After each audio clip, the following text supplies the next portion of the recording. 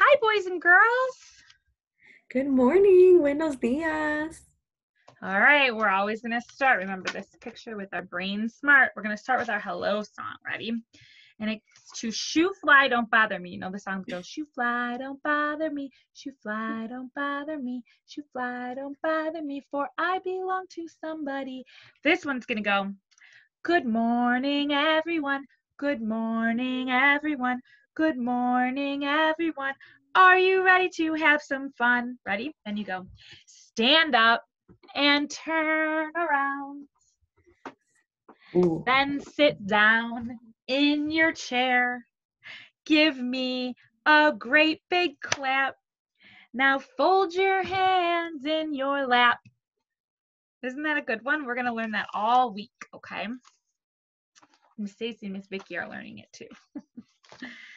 All right, next, what comes next? Who knows? Our I love you. I love you ritual. Okay.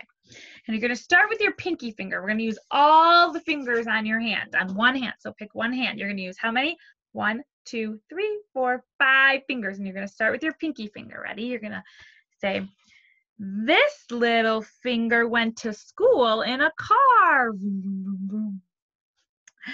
This little mm-hmm. finger rode the bus. Beep, beep. This tall finger mm-hmm. rode his bicycle, and this one chose to walk. This thumb lived so far away that it had to go up the hill and down the hill, up the hill and down, up the hill and around to get inside the school. You like that one? I like that one too. And then the story we're going to read, look, story is going to be about baking bread. So this week we're going to be talking about celebrations a little bit and um, maybe some we're going to all send a recipe in. I hope some of you have already done that, but if you haven't, please send your recipe in. Any kind of recipe. It can be your favorite apples with peanut butter on them. Maybe you put raisins or something or something on top or cinnamon, right? It can be that simple, or it can be a really nice recipe, a big one that you and your family like to eat together. But this one is about baking bread. Remember when we've been talking about baking cookies and cupcakes and pizzas? Remember from a couple weeks ago? This one's going to talk to us about this says baking bread. It says with grandma. What's grandma in Spanish? Abuela. Oh, I know in German they call it omi or oma, and I think in Polish it's babcia. If mm-hmm. anybody has any other, I would love to learn what you call grandma. You can tell us that today. Baking bread with grandma. Okay. Hi, my name is Lucia, and this is my brother Anthony. Every Sunday, we go to my grandma's house, and today she's going to teach us how to bake biscuits. I can't wait to get started. What do you notice? What does grandma have already prepared? Hmm. The first thing we do is wash our hands. Grandma has a special stool for us in the kitchen that we stand on to reach the sink. See, they have a stool. Some of you have a stool? I have a stool for my um, daughter in the bathroom so she can reach her the sink when she brushes her teeth or washes her hands. Washing your hands before baking helps helps your food stay germ-free and safe to eat. This is an important part of food safety, which mm. means following certain rules when touching, making, or storing food. Keeping the kitchen clean is another part of food safety. Clean your tables or countertops with soap, water, and paper towels before you begin. So they have a sponge and she has soap and she has a spray bottle to mix the soap with the water so she can clean and paper towels.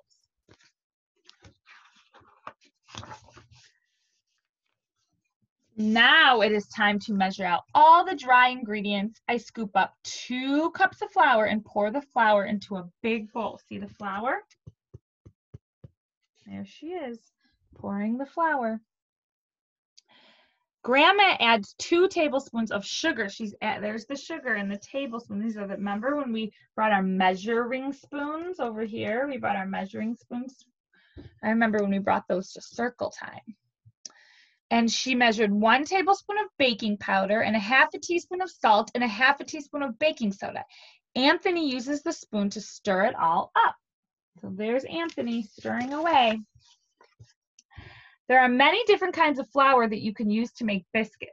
The most common type is wheat flour, but you can use corn, rice, or coconut flour. So this is what you look hmm. close. Corn, I, I don't know if you could see it on the over through the computer, but this is a little more yellow like or orange like corn.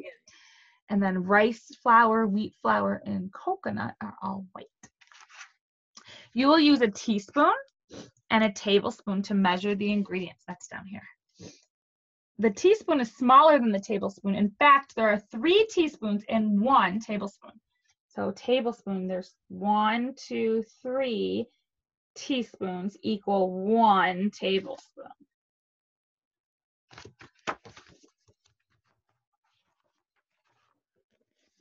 Ooh, what do we have here?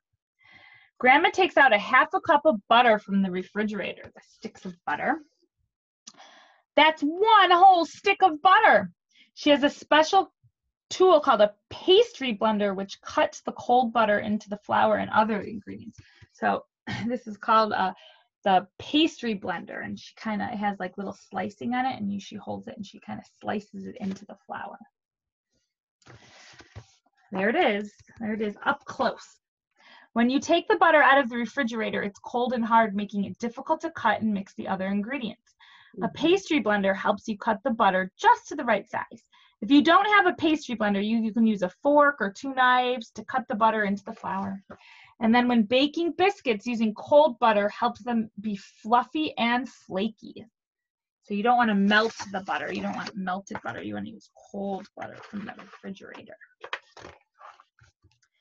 Then the butter and the flour start to look crumbly, and Anthony pours in three fourths cup of buttermilk. And then grandma mixes the ingredients to make the dough. See, so first it looks like that, and then when the dough, she pours that in, and then it starts looking like that. Oh, what do we have here?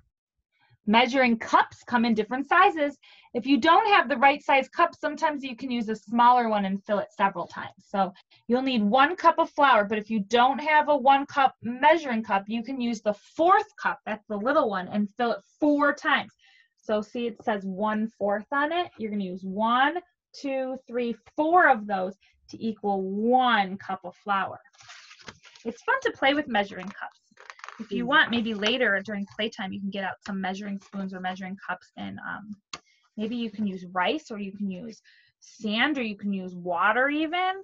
So you can see in a big bowl and you can see how many fourth, one fourth cups equal the one cup. Grandma shows me how to use a rolling pin to roll it out. Then it's my turn to try. I roll out the dough until it's about one inch thick. Mm, Grandma reminds me to use lots of flour on the counter so the dough doesn't stick. So here's Grandma rolling it out, and they're, they're using flour. So they they have their countertop and they put flour on their countertop. So they roll it out so the dough doesn't stick. And that's called a rolling pin. Rolling pins come in different styles. Some rolling pins are long and straight. Some are tapered and get smaller at the ends. Some have handles. If you don't have a rolling pins, you could pin you could just use your hands. So there's the long and straight one. There's a tapered one. See how it's big in the middle and then it kind of gets smaller at hmm. the side? That's called tapered. And then here's one with handles. This one is really the, the easiest, I think, because it has the handles. Some people like that. Although some people like this one too. Do you have a rolling pin, Miss Vicky? I I don't, but my mom does, and we always usually bake at her house, and she always used to tell us the same thing. This Use a lot of flour, and she taught us how to use the rolling pin. It's really Rolling fun. pins are yeah. If you have one at your house, they're really kind of fun. Maybe, or if you even have one with your Play-Doh tools, it's oh, really Oh, yeah. fun to practice rolling those out. Kind of, mm-hmm. it makes your hands stronger, so you're then ready to write. They're nice and strong, so you can write. Grandma uses a round glass to cut the biscuits from the dough. She shows us how she twists the glass to cut the dough, which helps the biscuits rise. So let's see. Let's see her doing it. There she is. And there's the dough, and there she's cutting. So she's using this cup and she's twisting to cut it. And then she's putting them on here. There's a tool called a biscuit cutter that's used to cut biscuits to the same size and shape, and then it helps them bake evenly. But remember, if you don't have that, you could use the cup, like, like a glass cup that like grandma used, right?